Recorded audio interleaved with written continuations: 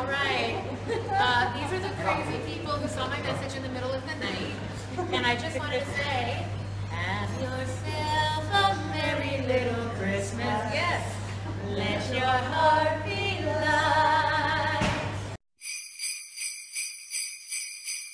Have yourself a merry little Christmas, guys. Bye.